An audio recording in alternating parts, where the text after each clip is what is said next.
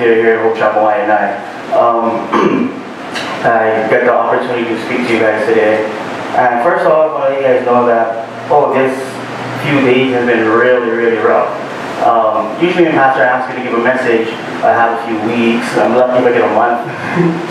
and so it was kind of last minute. And um, inside I was like, uh, I don't think I'm going to do this. I'm, I'm good. But at the same time, um, I love challenges and stuff like that, right? So I said, okay, I'll do it. Um, so I'm, I have this idea what God's showing me and whatnot. Um, usually he has it already on my heart before a message even, before I'm even asked to do a message. Um, but I see a small thing that I think he's telling me and whatnot, and I'm going through this whole thing. And it comes, so I think I was told about Thursday night. So Friday, I, I uh, have my concept down, I have some writing and whatnot, and I'm feeling good. And okay, I, I know where I'm going and whatnot.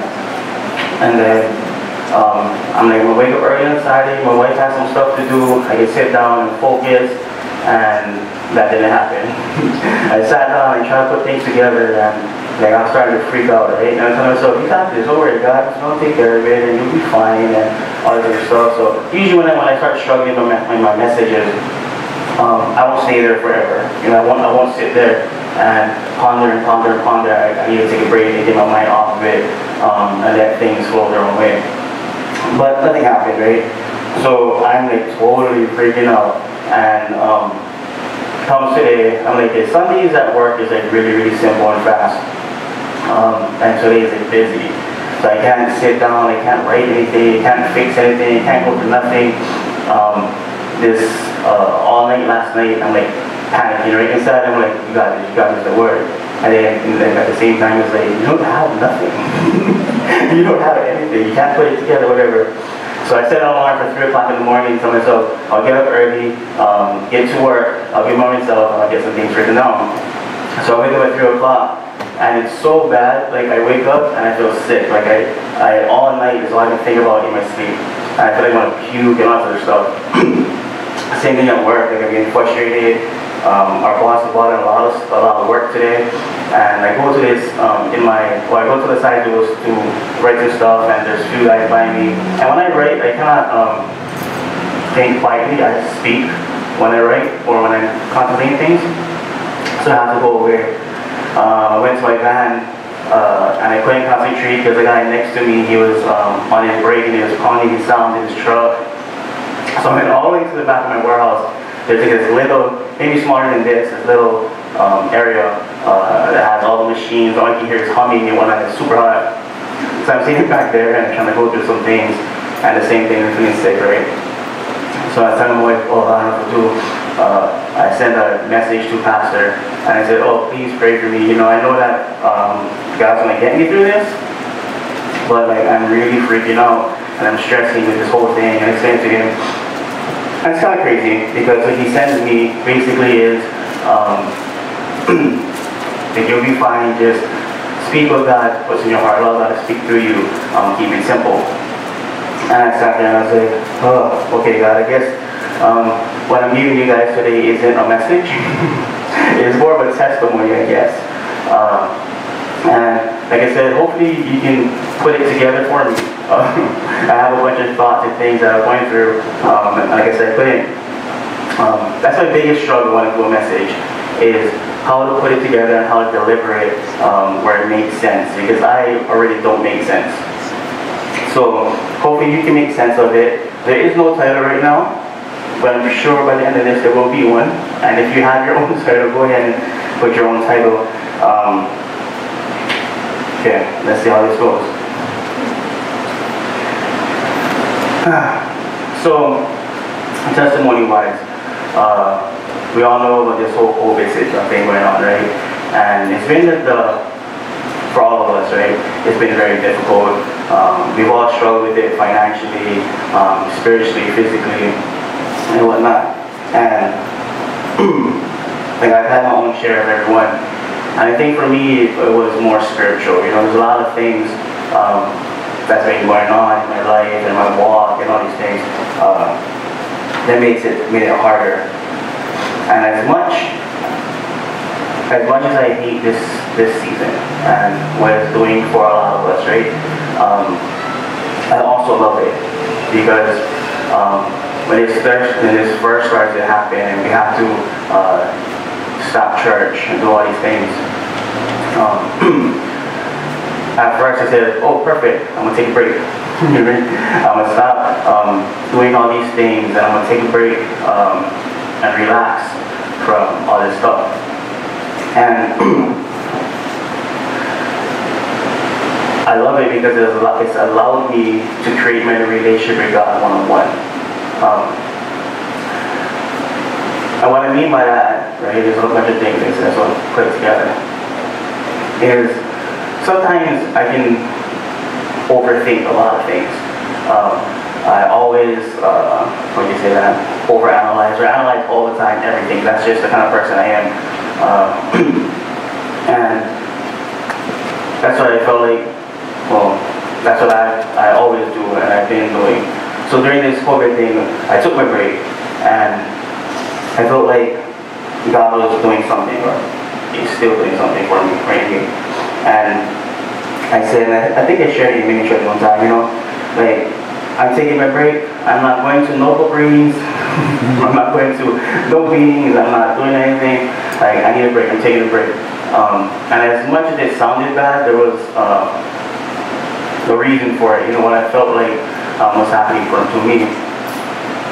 And I guess I overcomplicate things, and I always do things, and I always analyze extra, I always, uh, what's that? what's that word? Uh, well, I just always double check my walk. I can't figure out the word. I always double check my walk and where I'm going and what I'm doing and why, I'm, why I'm doing it. And I realized for myself that, and I think for a lot of us, this may be offensive, not meant to be, um, if when when this first started happening, this COVID thing, and if you started to struggle in your walk, right, and he wasn't sure where you was going. you had all these things happening. Um, I'm pretty sure that you were you were already struggling. You just didn't notice those things. And I say that because there's things I didn't notice in my walk, or uh, that were shown more clear to me when I wasn't allowed in this room anymore or in this building. I'm not making sense to anybody. Like I said, I just went all over the place, but. there was something that uh, I, I felt like God revealed to me. It's something He's always been revealing to me to grow and change. And I think He's used this um, this season as an opportunity to take that thing in me to a different level. And that's always separating myself from um, everybody else in the sense of um, becoming my own um, my own man, I guess, my, my walk being my own walk and my relationship being just between me and him and nobody else. so, for a while, well, we come from a family where our, our pastor, our uncle, is, uh, what do you say, the head, right? And uh, we all follow um, willingly, right? we all follow him and we do all these things. And um, sometimes, like, it felt like whether there was a comment being made or something inside me, it felt like it was um, because of him, if that makes sense, right? Like sometimes my walk felt like um, it was based off because of him. And it wasn't 100% my own. So that's something that uh, God been, I've been processing with God and um, I love it because now my relationship, I'm, I'm forced, right, uh, to build it with God. Um, I have no excuse. It's easy for me to look the part, right? It's easy for me to, to read my Bible because I'm supposed to. It's easy for me to go and pray because I'm supposed to. It's easy for me to do all these things because that's the Christian thing to do. What makes it easier for me, right, is uh, to play the part, is I have meetings to attend, right? So I have to make sure that, and every, I'm pretty sure every single one of us on this team at one point in leadership, we didn't read and we read because we know we were going to be asked what we read for the week what we were pondering on. And um, it was things like that, you know, that um, eventually I felt like, um, before COVID and stuff, felt like like I was, my walk wasn't my walk. It was a, um, for lack of word, a forced walk. Doesn't make sense, right? Like I'm doing all these things because I have to, and I'm supposed to, and I'm supposed to look like this, and I'm supposed to act like this, and all this other stuff. And in translation to all that, my love um, or the reasoning might have got twisted, and I didn't notice that. So during this, God revealed to me um, how to become my own, how to um, build my relationship with Him on my own. I realized I already know how flawed I am, right? But to be able to uh, not have to worry about what uh, pastor's going to ask me at a meeting. Um, to not worry about what I'm going to teach or if I got to preach or uh, announcements or whatever it was. To have all those responsibilities taken away, uh, it put me in a place where I have to uh, see where I really stood at God and who I really was and why I did what I did. Make sense to anybody? No? And so like I said, I had this whole struggle with this thing. Um, but at the same time, I loved it because it was real. You know what I mean? There was nobody else controlling nothing, even if they didn't mean to. It was just it was just me and God. And I could sit there and say, oh darn it, I didn't read today and I was supposed to, right? Or feel like, oh I forgot to read yesterday and then realize it and then be like, oh man. But but, but genuinely feel that um, and see all my flaws, my imperfections, and where I got to work at, what am I doing right, and what I'm doing wrong. Um, and like I said, letting it be me. So there's, and the Holy Spirit making sense. As I'm doing this message thing, and I'm processing it, this, this is it a testimony. This is what I'm going through, and um, how I feel like God's changing me. and so I'm praying to God, Lord, give me something. Right? Like I need, I need something and like I'm struggling with it, and I'm I can't remember what I was doing and who I was talking to, and then whenever I, I go through a message, I always listen to Christian music, yeah, and most most times it's Christian rap, but this time I just threw on some normal Christian music, and um, this one song popped up, and I wasn't listening to it because I'm focusing on these other things, and these couple words came on, and it just and you guys already know it but this song spoke like huge for me and it revealed to me a bunch of things. Um, and the word I stuck up was gotta keep it real simple. Because it all comes down to this, love God and love people. And I was sitting there and I was like, oh, you know what I mean? And I was like, like that, that one spot like stuck out like, oh God, okay, there's that's a weird one because I wasn't listening, um, but you said something, um, and it was loudly clear. So I went back and I checked who the song was by, and um, I was reading the words and listening to the song over and over and over for the past couple days. And my wife's like, yeah, why are you having to repeat and all that sort of stuff? It's like for me, it's like, because that's the message. That's what it is for me. And the song is um, by Danny Gokey and it says it's called Love God, Love People. I'm going to read it. Um, I recommend you check it out. If you don't know it, or even if you know it, just redo it, sit there and listen to the words and see if there's anything in there for you. And when I listened to the song, and made me start to think about myself, like I really felt like this guy was singing about me. I was like, oh man. And it says, I've been running in circles, jumping the hurdles, and getting caught in the rush of doing so much. I'm feeling kind of worn out. All this checking the boxes, trying to be flawless, has me spinning my head, catching my breath, too afraid to slow down. I tell myself to keep this up, and that God wants more than just my love. But I've been complicating things. It's just like me to overthink. Gotta keep it real simple. You gotta keep it real simple. Bring everything right back to ground zero, because it all comes down to this love God and love people. We're living in a world that keeps breaking, but if we want to find a way to change it, it all comes down to this. Love God and love people. Oh, this is freedom, the keys to the kingdom. Knowing life will be found when love can be loved. Because love is what it's all about.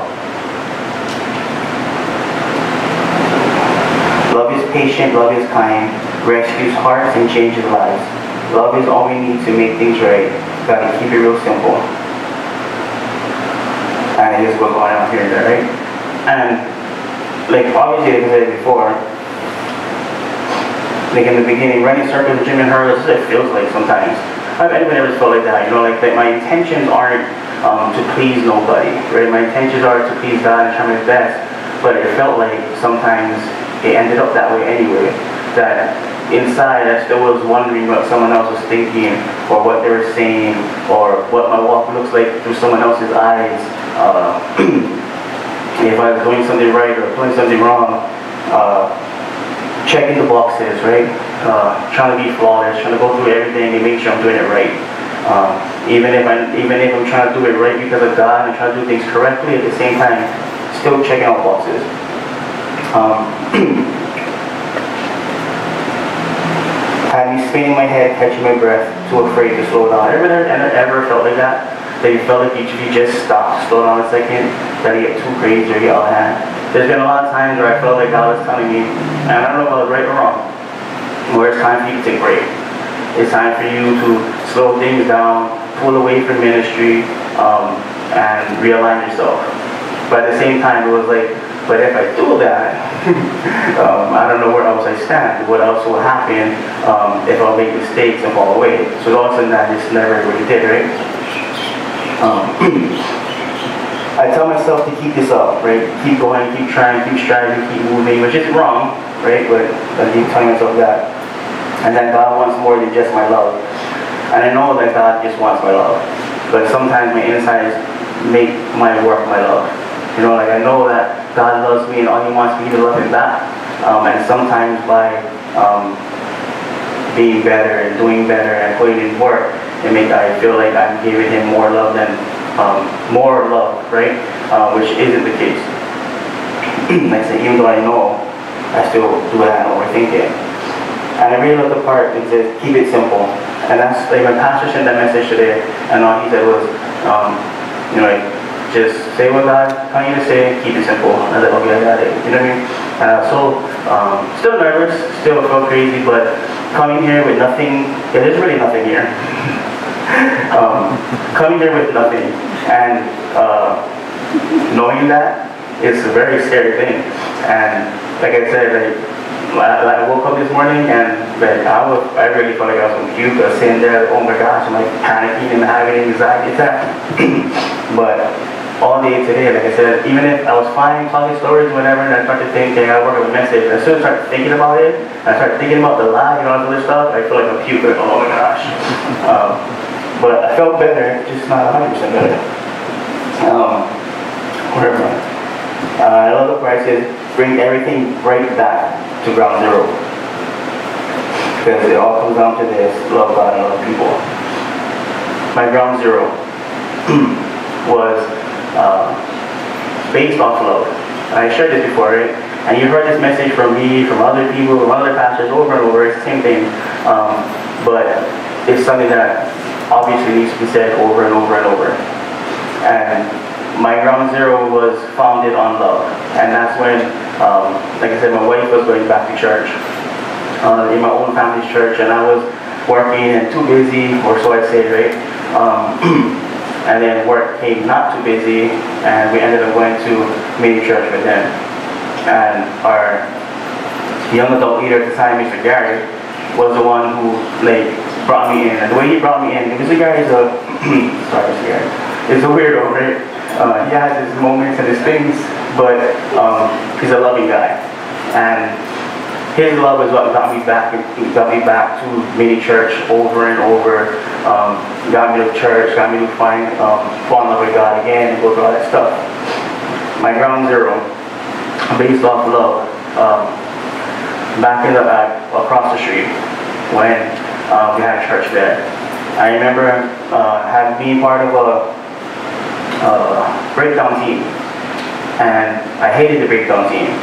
And not because it was hard work, you just felt like you're the only one working, and everybody else was laughing and talking stories outside and drinking coffee and eating donuts, and you were stuck in there cleaning up and doing stuff. Mm-hmm. So I told myself, uh, I'm not doing this anymore. So I stopped doing that. And then one day, um, I was watching them from outside, watching the guys clean up and do stuff, and I felt like God told me that that's where I was supposed to be. Like, look at those guys being dedicated and working, and that's what I was supposed to be doing. And then um, pastor comes in the exact moment and says, hey, do you want to be a part of ministry and be one? I was like, what? and this whole thing goes and plays out its own way. Um, but doing that and serving to serve.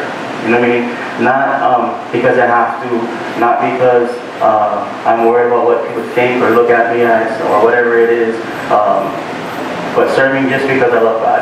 And that's all I want to do. Um, being in a, in, in a ministry where nobody wanted to help, right? Um, coming at 5 o'clock in the morning, setting up things and cleaning and prepping for everybody else to have a good time um, with no one else there helping was never a burden. I mean, it was um, it was joy, it was love, um, because the heart was, I just want to serve. That's all I want to do. Um, it doesn't matter. Nothing else matters.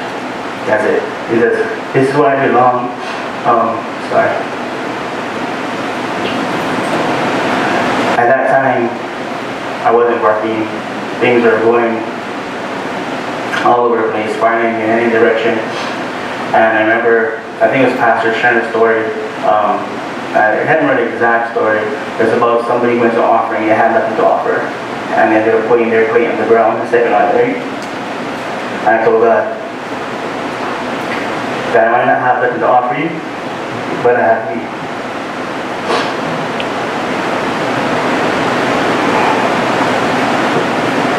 And that's where, like I said, ground zero is for me. Um, not worrying about anybody else's things or thoughts or where they are, what they're doing, what they're thinking, um, where I'm at, whatever, just serving. Just serving serve. Um, and building my walk that way. Building my walk in a way where um, I know, right, that God said the first commandment is to love God more than anything else in the world and to love your neighbor just as you love yourself. And taking that and applying that to my walk and making sure that I have to be a nice guy. You know, I have to make sure that I wasn't rude to people. Um, I wasn't saying things I shouldn't say. I should always think about someone else's stuff before my own. And um, it wasn't a hard thing to do because I guess God created me that way anyway. And it was easy for me to love people that way. Um, but I guess throughout the years, right, uh, things change. It's not the same. So like going back to um, Ground Zero, um, so I guess they had the name of the song. Um, I love God, I love people. And I just wanted to talk about that. You know, I didn't want to break down anything. I just wanted to uh, give you something that you can think about, um, that you can take home and write and listen to the song over and over and search and see what God has for you. And um, so I have a few things, and then we'll be done. Uh, what does love mean to you? Okay, break that down. I think this is homework. What does love mean to you in your own words? not the definition or whatever, what it means to you to love someone. For me, to love someone in my normal way is to take care of them, to help them, um, to put uh, them before me. Right? I had this thing with the youth. Um, some of them might remember there's this story, I don't remember where it originates from, and it's a story called the half cookie guy and um, it, well, I guess it originates from my own stuff.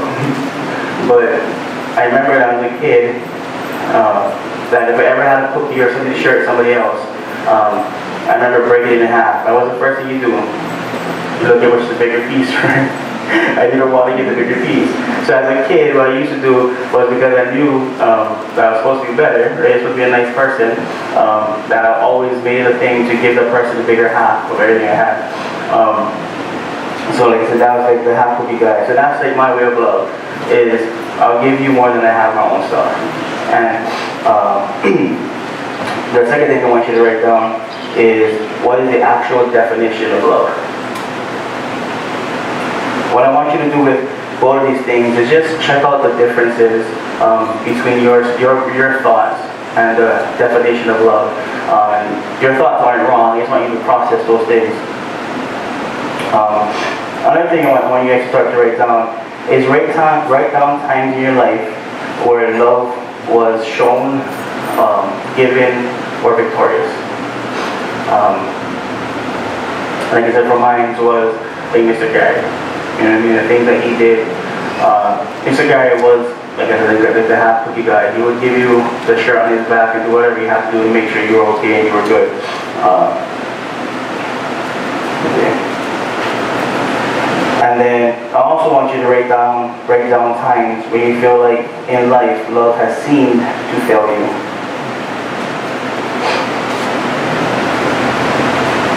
And I want you take those two again and search in, in, in that and find those times where you felt like love has, has failed you to see if love actually succeeded in that.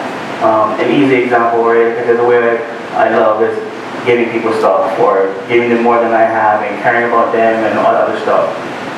So it's easy for me to do that, but at the same time, the hard part is when you don't return the favor or you or you step on it in a certain way, then like my brain just shuts off and then there's no more love and there's just um, a problem. and that's how I always I am all the time. And something I to fix on, uh, work on. and yeah. So when you write that down and see that like I said, there's no right or wrong answers. Uh, this is all just about the process.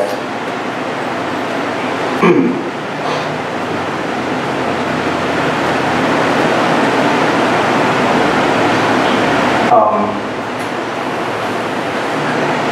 Think that's pretty much everything. Um,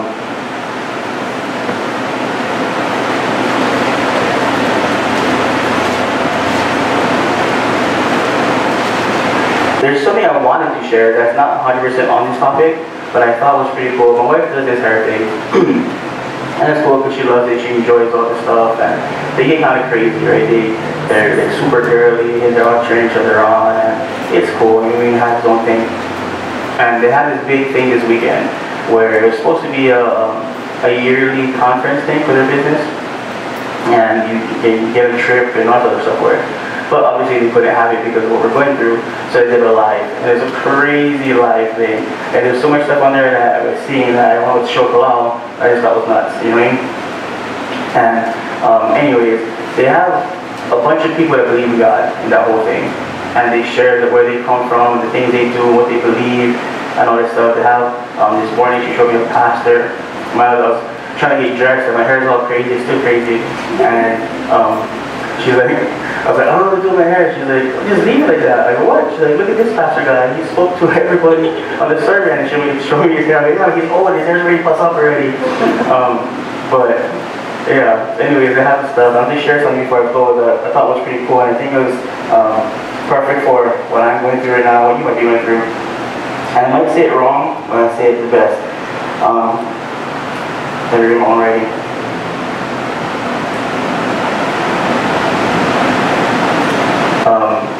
a time in waiting, right? Or if you're in a time of waiting, it doesn't have to be a time wasted, whether it make sense or not. And for me, it spoke a lot, you know, especially what I'm going through. Because it's easy for me to say, well, church isn't happening, things aren't working, and I'm waiting for God to do this, and I'm waiting for God to do that, and I can sit there and wait. But at the same time, that the guy said, that just because you're waiting doesn't mean that time got be wasted. Um, and that's why I love, like I said, I love the fact that um, what I'm going through, I can still sit and process. I can still see where I stand, what God has for me, what He's doing through me, what I gotta fix, what I gotta change, where I gotta go, you know, other stuff. Instead of just saying, oh God, I'm struggling, and I know you're gonna do good, and I know you're gonna fix it. Um, God, just wait here, right? And I said, hopefully this all makes sense. hopefully put together um, something of uh, testimony, like I said. With that being said, just quiet heads and close your eyes. Father God, Lord, just thank you and praise you, Father, for bringing everybody here, Father God, Lord.